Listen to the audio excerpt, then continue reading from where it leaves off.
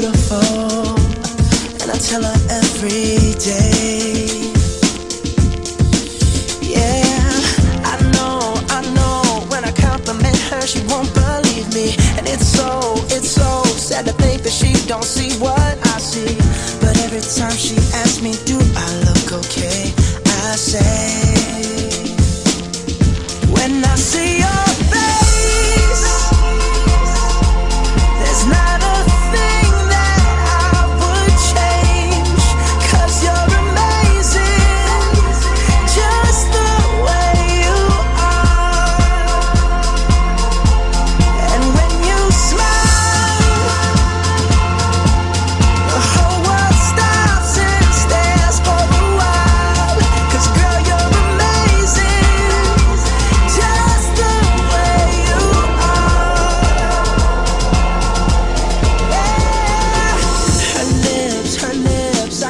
Monte